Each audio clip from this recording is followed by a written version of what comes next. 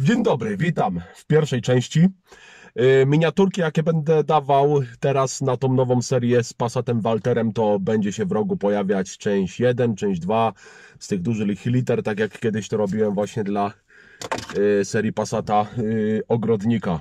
Dawno temu, co nie?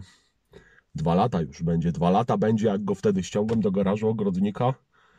Jakoś ta zabawa się skończyła chyba w połowie 21 by trzeba było na daty zobaczyć. No, ale teraz mniejsza o to, jeśli chodzi o daty, o wszystko. Witam z Passata Tadeusza. Tak, Tadeusz cały czas jeździ na co dzień. Wozi mnie w tom, wozi mnie we w tom.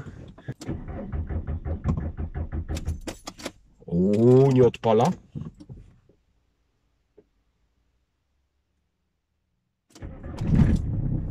Uuu, nie strasz, kurde. Wymieniałem ci przekaźnik świecowy, więc pal. Dobra. Już krytycznie z paliwem. Nie mogę dopuścić, kurde, żeby zgasł, bo będzie zapowietrzony. A zapowietrzyć diesla? Uuu. Na wstępie odcinka tradycyjnie. Jedziemy po kawę i jedziemy do garażu, do garażu przyglądowywać się Walterowi, co tam ciekawego w trawie piszczy, więc do zaraz. Mamy kaweczkę, małą wziąłem, bo już troszeczkę kalorii żem zatankował porannym kakałem. Trzeba trochę kalorii zatankować, żeby mieć, mieć siłę do kręcenia jakimiś śrubami, choć podejrzewam, że dzisiaj się nie będzie za wiele działo ze względu na to, że nie mam części. I też przede wszystkim, panowie, e, dobra, opowiem o tym w garażu najlepiej. Dobra, tutaj jest jakiś uchwyt na kubek.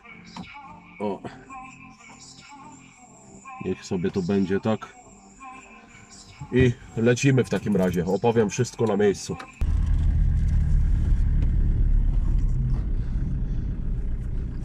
Jesteśmy na miejscu. Fajny widok, co? Dwa Passaty B4 stojące koło siebie. Jeden polski, drugi Niemiec. Zostawiłem go tak otwartego przez całą noc Tutaj jest dosyć ciepło, żeby ta woda, która była na tych wszystkich szybach, żeby to ładnie odparowało. A się może zamknę drzwiami tutaj w garażu, bo trochę zimno na dworze. Godzina w pół do dziewiątej, mimo że wstałem o szóstej, to nie wiem jak ten czas tak szybko zleciał do tej w pół do dziewiątej, ale chciałem jak najwcześniej się tutaj właśnie wybrać do garażu, żeby zrobić taki ciekawy vlogasek odnośnie tego, co to jest w ogóle za Passat, co ty MGR wymyślasz i co ciekawego dla nas szykujesz. No, szykuję to, co szykuję, bo już nie muszę chyba nikogo w nic wtajemniczać, co tu się w ogóle dzieje. Nie wiem właściwie od czego zacząć. Nie wiem naprawdę od czego zacząć, ale wiecie co? Yy, przeważnie jak tego typu graty znajduję i sobie jakieś tutaj do dłubania sprowadzam, to zawsze na dzień dobry zaczynam od poszukiwania artefaktów. Artefakty, wiecie co to jest, nie? To są różne jakieś ciekawe przedmioty, które ktoś gdzieś lata temu zgubił, gdzieś coś wstawił i zostawił i nie zabrał i takie tam inne dzikie węże. I co?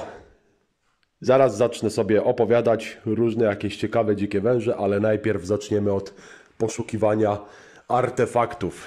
Artefakty, które zaczniemy sobie być może od bagażnika. Może znajdziemy jakieś złoto, może jakąś mapę do, yy, do jakiegoś skarbca bankowego tutaj w Niemcach. Nie wiem, może do jakiegoś Deutsche Banku, kurde, jakiś wstęp. O, proszę, jakieś rękawiczki, pewnie gościu jakiś, który tym jeździł, to tym Passatem, to chyba na budowie robił.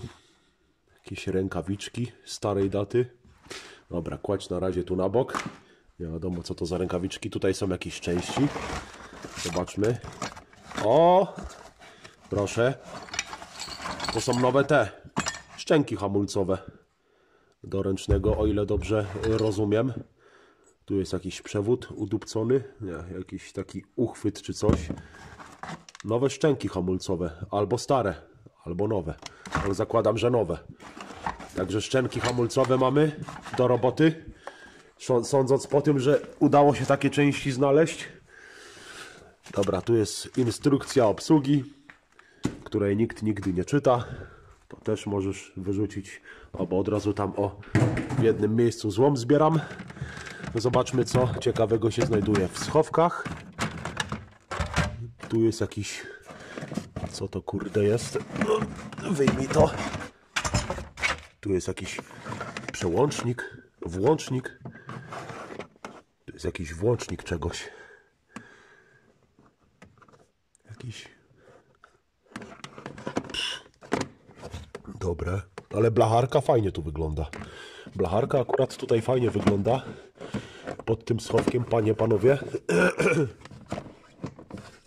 No ciekawe, tu jest jakiś przełącznik czegoś. No to zakładam, że to będzie albo trójkąt. A, trójkąt tu jest, nic tu więcej nie ma. Wysyp. Może jeszcze jakiś zabytkowy ten trójkąt. Tu jest coś, jakieś 3007 jakaś nazwa. Tak, trójkąt, dobra. Ok, to wszystko, to wszystko wróci z powrotem w to miejsce samo. Tylko na razie MGR rozmontowuje w celu poszukiwania artefaktów. Także takie na razie mamy artefakty z bagażnika. Tu mamy letnie opony, z tego co widać, jeszcze z dobrym bieżnikiem. Także przyszły rok czy przyszłe lato, znaczy się no przyszłe lato bardziej, co nie? Powinny ten, powinny się nadać. Tutaj fajnie, że te zaczepy nie są połamane, że tą zaślepkę można normalnie zamknąć. Te opony muszę, słuchajcie, stąd wydostać, bo chcę się dostać tutaj pod tą matę, zobaczyć co się tu dzieje. Oponki wydostanięte, ale ten bieżnik, no tu powiedziałbym już tak średnio, tu w tym miejscu, nie? Także no, nie są te opony, może tutaj jeszcze ten profil akurat w miarę fajnie wygląda, ale tutaj już widać tak raczej nie, tu już jest łysy w tym miejscu. A tutaj też, jak wiemy, musi być dobry bieżnik w tym miejscu. Dobra, to nie jest teraz istotne. Istotne jest to, co znajdziemy w tym schowku. Pusto. Dobra, tu nic nie ma. Jest gąbka i jest blacha. W miarę dobrze, fajnie zachowana. Możemy sobie na przykład wyjąć ten. O, jest system niezatapialny. O, jest y, wylany ten. Słuchajcie, yy, ja to myliłem, że to jest jakaś wilgoć czy coś, a to jest taka po prostu konserwacja fabryczna. W ogrodniku było to samo w niektórych miejscach, więc tak by te sprawy wyglądały. O, tutaj się dowiecie, jaki jest kod lakieru. Także można sobie zapauzować i zobaczyć.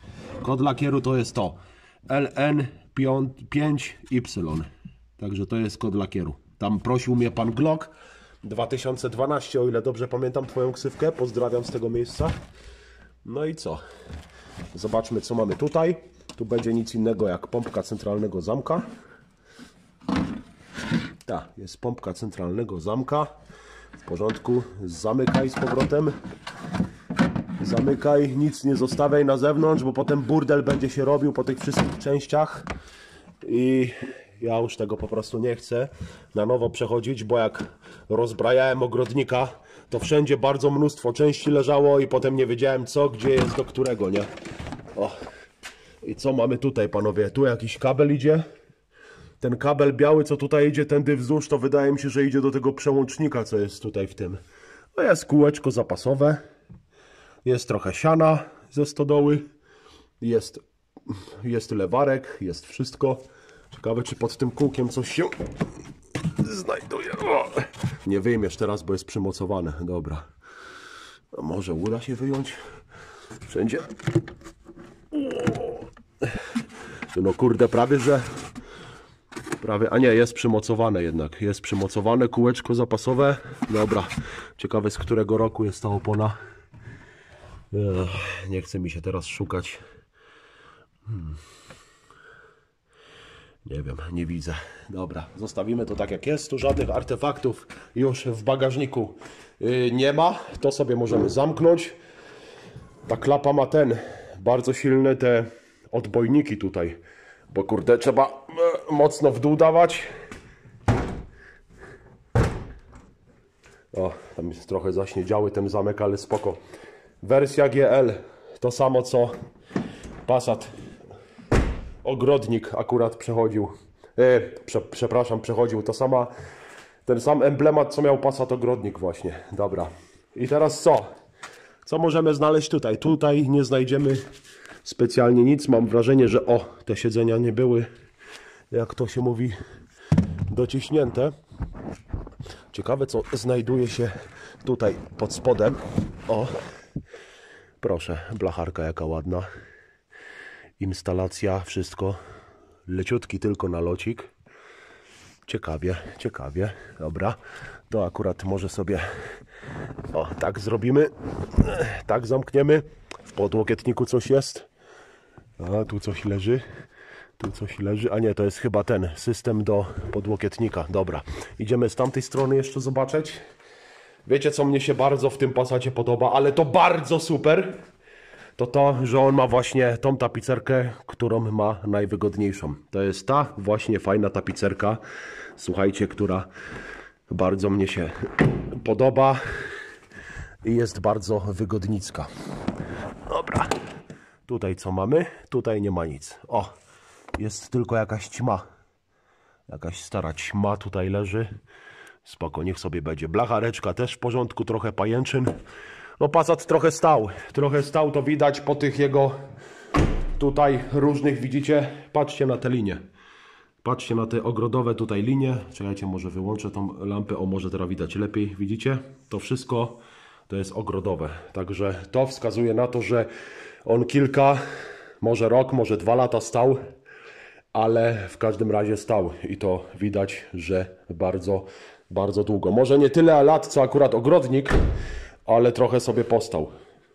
Plamy zielone, wszędzie zielone, także tak wygląda Passat Walter. Wiecie co mnie się jeszcze podoba bardzo? Że mając kilka tych Passatów, ten jest akurat piąty w moim życiu, to to, że żaden nigdy nie miał tutaj tego, o, tej blendy. Także pierwszy raz widzę w ogóle taką blendę w takim samochodzie. I podoba mi się system zamykania drzwi, jest taki bardzo łagodny. A w Tadeuszu w porównaniu do trzasku drzwi, no to tam trochę tak jaki, jakby był taki meta, metalowy dźwięk tego trzaskania. Tutaj coś leży, jakiś, jakiś plastik, kawałek plastiku czegoś. Hm, nie wiem, dobra. E, I co? Na, tym, na tej tapicerce, na tym fotelu jest taki fajny, fajny misiek, panda bym powiedział. Nie, zebra to jest bardziej. Także tutaj jest taki pokrowiec. Ten pokrowiec oczywiście jest do wyprania. Ale fotel zniszczony nie jest. Fotel zniszczony nie jest. Tapicerka no jest praktycznie cała do prania, bo widać co się tutaj dzieje. Syf, kiła i mogiła, brudno wszędzie. I teraz z takich technicznych spraw, to zobaczcie sobie, co ten Passat fajnego posiada. Tam jeden gość zwrócił uwagę, że co to za Passat, że nie ma poduszek powietrznych. Słuchajcie, to jest jakiś indywidualny, y, indywidualna konfiguracja, bo niektórzy mogli sobie na przykład dokupić klimatyzację do wyposażenia, niektórzy yy, na przykład wybierali wersję bez poduszek, a dopłacali, żeby mieć na przykład wszystkie szyby w prądzie. Także to jest pierwsza wersja Passata, który posiada akurat wszystkie szyby w prądzie. W moim oczywiście, w moim posiadaniu, nie, bo nigdy do tej pory nie miałem akurat B4, które miała wszystkie właśnie cztery szyby w prądzie. Ogrzewanie tylnej szyby, o kurde, odetkaj to z powrotem, dobra. Yy, I właściwie to wszystko. Radyjko jeszcze na płyty. Yy, tutaj w zapalniczce co jest? Jest jakaś, jest jakaś agrafka, jakiś mały długopis. Znaczy to jest chyba jakiś taki, taki długopis, nie wiem, do tableta czy coś. Zapalniczka jest w każdym razie. To od razu dawaj tutaj, o, żeby było ładnie w oryginale. O, popielniczkę tu z powrotem jakaś agrafka. Dobra, to dawaj tu z powrotem. Schowek, schowek. Przede wszystkim papiery. No tak, jest duży brief. Zaraz się przyjrzę temu. I mamy dwie obsługi, adresy tych serwisów. Ogrodnik też miał tą książeczkę, gdzie możemy znaleźć sobie serwisy, ale stare mapy, jakieś dziwne, gdzie co jest, w jakim miejscu. Spoko. Książeczka pewnie jeszcze z połowy lat 90. O, jest. 10, 92. Zakładam, że to jest z 92 roku książeczka. Tam nic więcej nie ma. Jakaś pineska tam leży, kurde. Dobra, to sobie możesz na ten. To jest instrukcja obsługi Passata. Wszystko, co gdzie jest. Tylko to jest taki właśnie, yy, to jest taki ogólny podręcznik. To jest taki ogólny podręcznik o najbogatszej wersji Passata. Nie akurat o tym, żeby ta książeczka mówiła konkretnie o tym egzemplarzu tutaj. Także taka jest sytuacja na froncie. E, ten akurat schowek nie posiada miejsca na kubki, na kawę. No spoko, nie szkodzi. Co jeszcze możemy tutaj szukać? No chyba raczej nic. Tu ewentualnie może jeszcze coś będzie w popielniczce. Też tutaj jest jakaś kurde pineska. Wszędzie jakieś kurwa tutaj pineski leżą. I teraz tak, no mówiłem, że to jest akurat wersja bez poduszki. Były takie wersje Passatów, że mamy kierownicę jeszcze troszeczkę podobną jak w Passacie właśnie B3.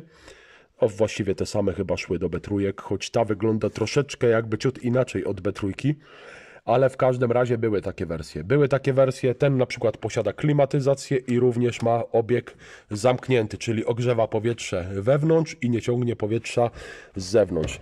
Jeśli chodzi o biegi, słuchajcie, to chodzą tak samo jak w Tadeuszu. To jest ta sama, kurde, przypadłość w tych pasadach, co miałem w, we wszystkich tych dotychczasowych moich modelach, więc akurat jeśli chodzi o biegi, to wszystkie są takie same, chodzą tak samo. Tu jeszcze może coś będzie o w tych schowkach.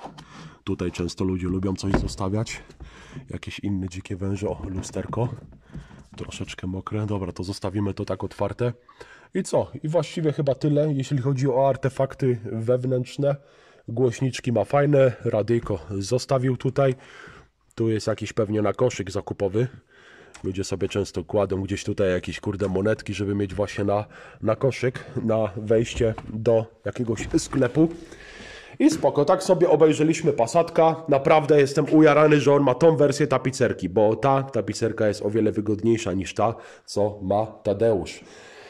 Yy, I tak, słuchajcie, wnętrze sobie na razie zostawimy tak jak stoi. Priorytetem tej serii będzie na samym początku dubanie sobie silnika. Silnik jest najważniejszy. Najważniejszy w tym całym przedsięwzięciu. Zobaczcie ile tutaj syfu.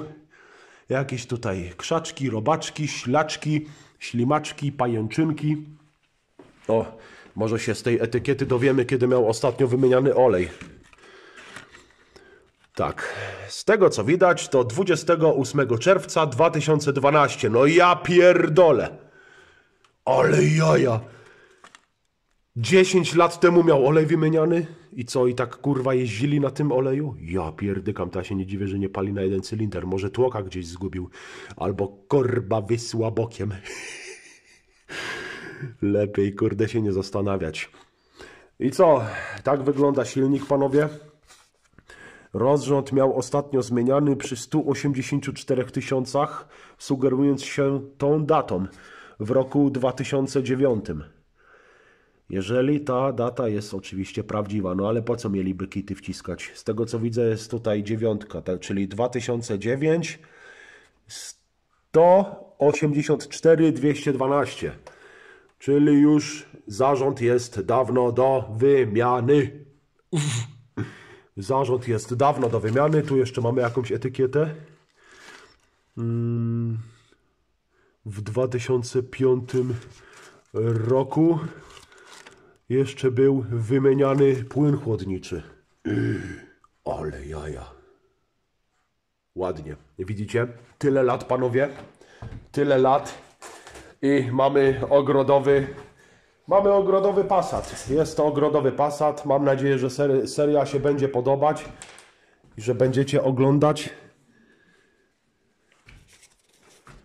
Aha, zaparkowanie. 1 euro zapłacił za parkowanie 19.06.2021, czyli był ten, czyli był e, jeżdżący wtedy. Czyli był jeżdżący, czyli co, jeździli tak? Jeździli takim Passatem? No teraz to już zgupiałem. To albo stał, albo nie stał. O, tu znowu pisze 242 tysiące. Yy... 865, 11, 17. Zakładam, że 17 to rok. czyli przy 242 tysiącach, czyli 20 tysięcy kilometrów temu, bo teraz ma 266 jakoś na blacie, to wychodzi na to, że zarząd już drugi raz był wymieniany. Wolę się nie zastanawiać, tylko ewidentnie go wymienić, bo patrzcie jak on wygląda, ten zarząd. A wygląda źle. Na moje oko jest źle. Trzeba będzie robić. O, kiedyś to jakiś pajączek fajny żył. Widzicie? Tyle z gościa zostało. Pajęczyn wszędzie mnóstwo. Trzeba będzie zobaczyć, czy chłodnica gdzieś nie jest dziurawa, czy nie przecieka. Bo widzicie, co się dzieje. No ja wiem, że w tym odcinku akurat tak sobie ględzę i tak sobie oglądam te wszystkie systemy i te inne dzikie węże.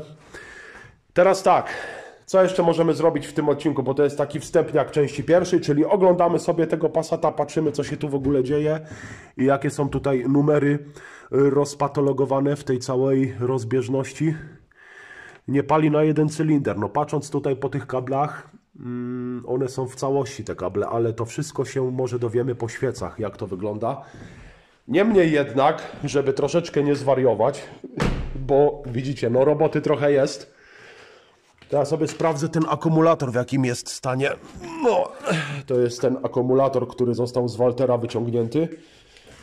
I wczoraj, żeby go odpalić i wjechać nim tutaj do garażu, to musiałem właśnie akumulator wyciągnąć yy, z tego, z Passata Tadeusza, nie?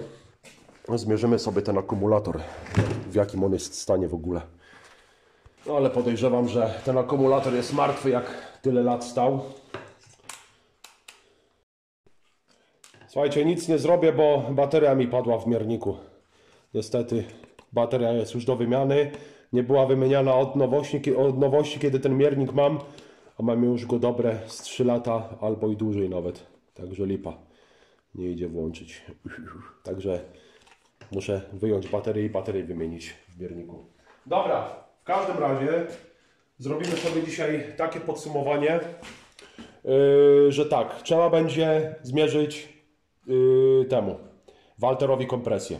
Ten akumulator to to będzie raczej trup, więc niech sobie leży tutaj, to on się już raczej do niczego nie nada.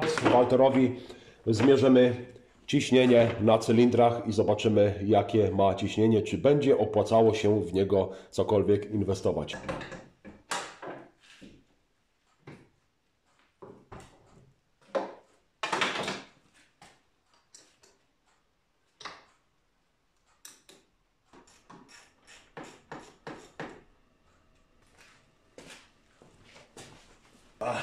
Ostatni łyczek kawy zrobiony.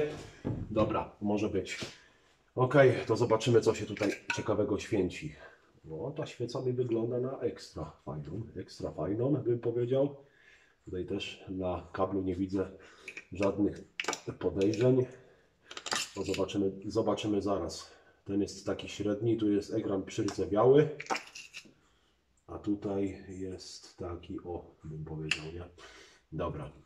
Jest wszędzie średnio, niech sobie będzie średnio. Teraz musimy te świece wykręcić.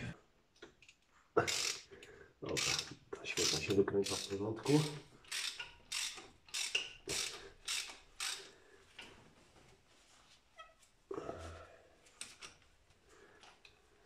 Ta wyszła fajnie. Coś mi się wydaje, że problem z cylindrem jest chyba w tym miejscu, ale to jest na razie tylko przeczucie. Z czasem będziemy zaglądywać coraz bardziej bardziej. O i to mi się podoba, że tu akurat, jeśli chodzi o pokrywę zaworów, to tu wymyślili śrubki o na kantach, co nie? Nie ma tak, że jak w dieslu, w Tadeuszu, że dali tutaj jakieś trzy zaślepki od góry i tutaj trzeba tak fajnie na wyczucie do, yy, doczepić akurat przy tym, przy uszczelce, żeby nic nie wypadało, tak? A tutaj fajnie masz zrobione, rozumiesz, na tym, na bokach wszędzie, nie? Dobra. Te świece jakieś, kurde, nie są jakby, no dobra, trochę, trochę mogą być. No, jest taki akurat, takie jest ogniwo, spalone, czarne. Więc lecimy dalej z tematem.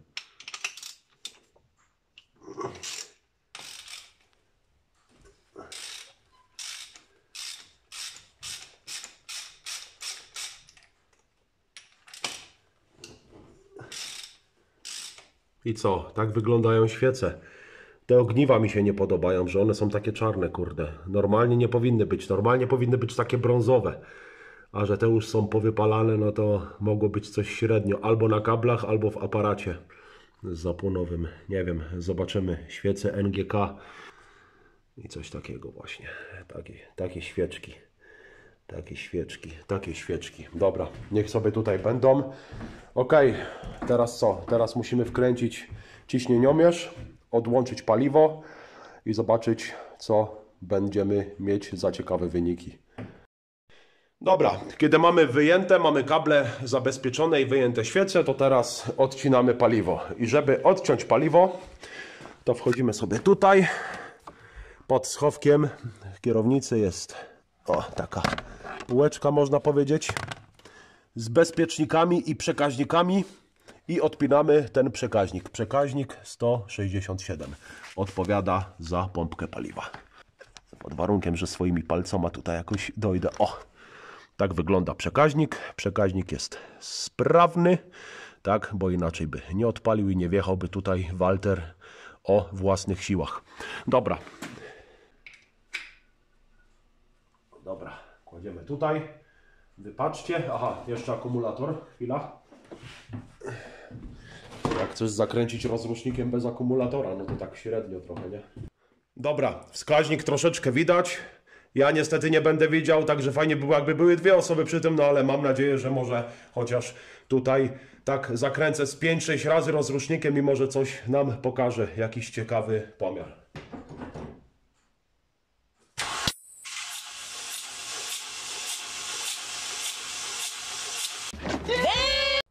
O kurwa! Kurwa mać! Jak można zrobić coś takiego?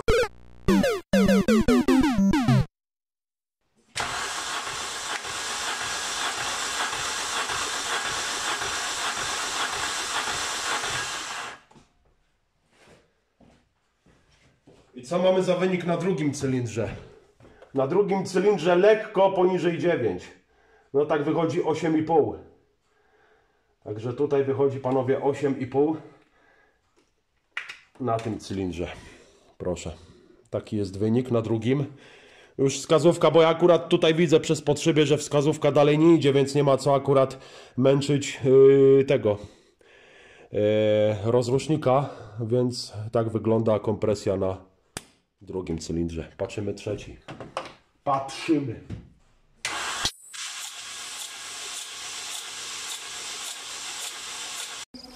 Kurwa mać! Jak można zrobić coś takiego? Mm, fajnie, kurwa.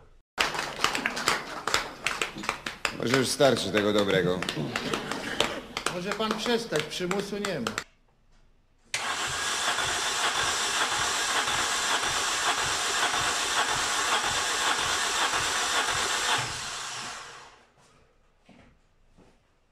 Co nam pokazuje trójka? Ja pierdolę. 8 bara na trzecim. 8 bara na trzecim. Słaba komprecha jak do tej pory. Mówię, a patrzę tutaj, bo akurat już wskaźnik dalej nie idzie, nie? 8 bara jest na trzecim cylindrze. Czyli jak na razie pierwszy cylinder wypada najlepiej. Ma około 9,5. No dobra, obserwować.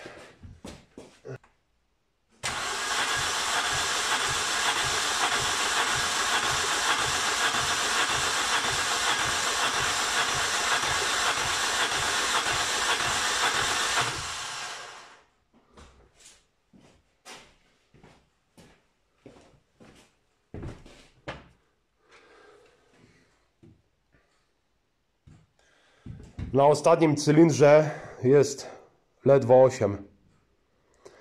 Ledwo 8. Słabą kompresję ma. Słaba kompresja, kurwa. Jakby było między 10, między tak 9 a 12, to by było jeszcze spoko.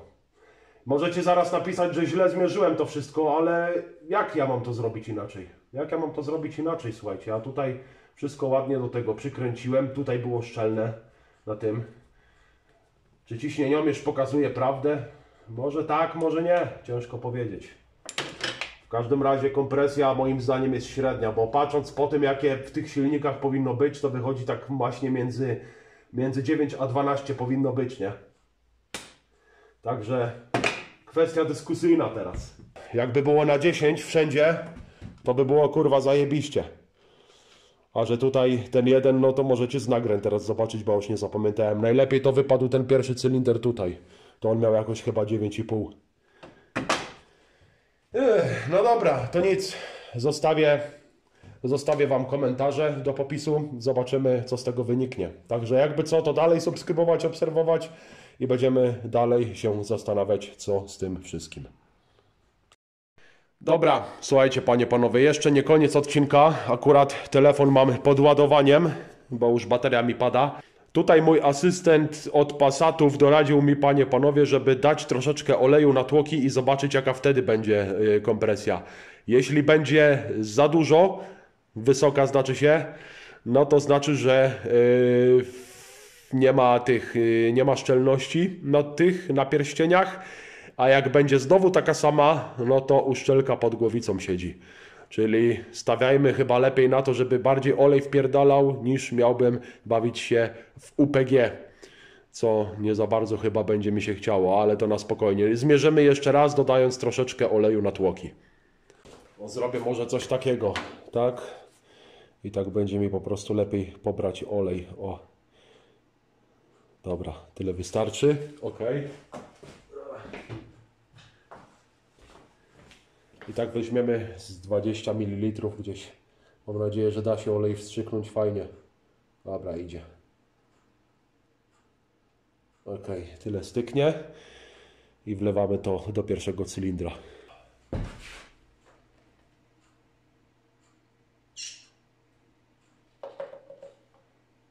Dobra, poszło. I co? Teraz kurde akumulator znowu potrzebuję. Ja pierdolę. Omieściłem go w Tadeuszu.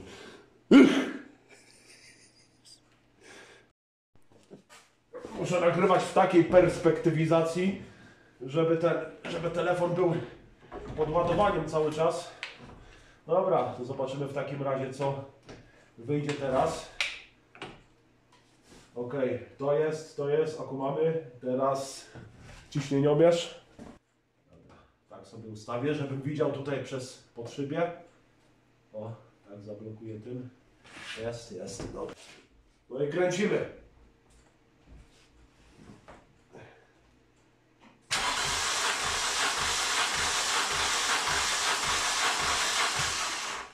Dobra.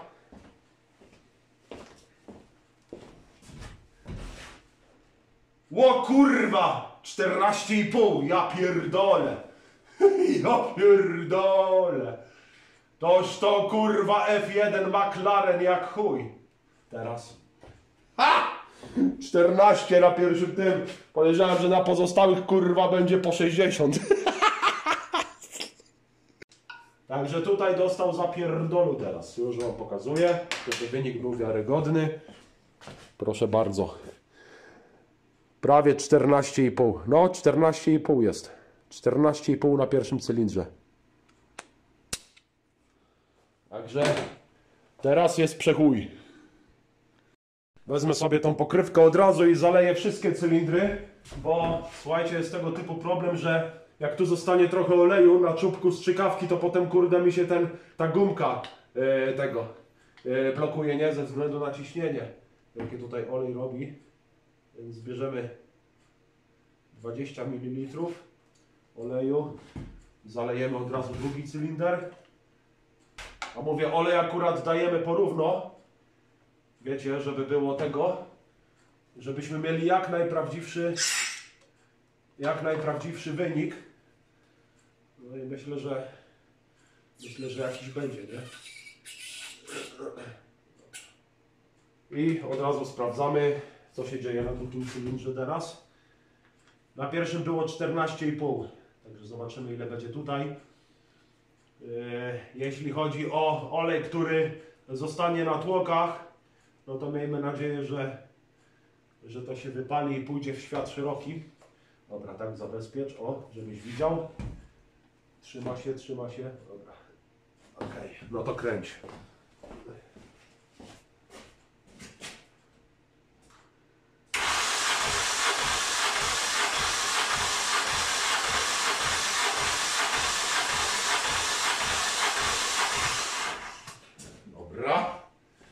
Jaki tu mamy wynik? Na drugim cylindrze? No, tu mamy 13,5. Tu mamy 13,5. Na drugim. Także tutaj mamy takie ciśnienie.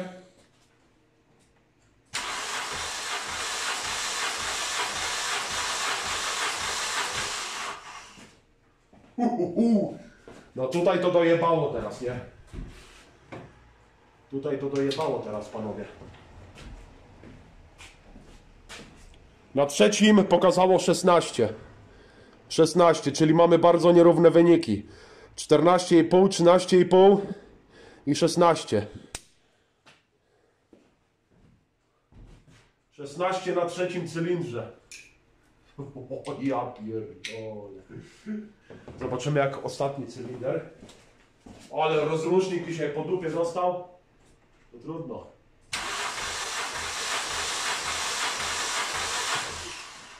Okej, nie pompuję dalej, dobra. No i tutaj mamy na czwartym teraz, panowie. Już wam mówię, wykręcę to, żeby jeśli tutaj się o coś nie dotknęło. I tu mamy 14. Na ostatnim cylindrze mamy 14, także tak by wyglądał pomiar kompresji w dzisiejszym odcinku na cylindrach. Czyli jak było z nagrania wynikającego? Czyli co wynikało z tego nagrywania teraz? Pierwszy miał 14,5, tu było 13, drugi był trochę naj, drugi był najsłabszy, jeśli chodzi o próbę olejową. Trzeci miał 16 i ten 14. No to niech się wnioski same jakieś tutaj nasuwają, co to z tego będzie, ale w każdym razie dobrze, że y, troszeczkę wyższe miał, bo dzięki temu y, słabe są pierścionki na tłokach i będzie olej wpierdalał, ale lepiej niech wpierdala olej, będzie się dolewać, będzie się jeździć, obserwować, dolewać, niż miałbym y, UPG ściągać, nie? Bo nie chce mi się UPG ściągać, bo, bo pierdolę i nie robię, nie? Dlatego to by było tyle w dzisiejszym odcinku. Także dzięki za obejrzenie, subskrybować, obserwować. Myślę, że będziemy dalej Waltera stabilizować. E, Te kurde ogrodowe plamy tutaj normalnie moje ulubione. Nostalgiczne wręcz bym powiedział. Tutaj coś jakby przepalone, ktoś jakąś lutownicą tu pojechał. E, spoko, to się da załatwić. Dobra, subskrybować, obserwować. Tak, tak by wyglądała część pierwsza z eleganckowskich stabilizacji.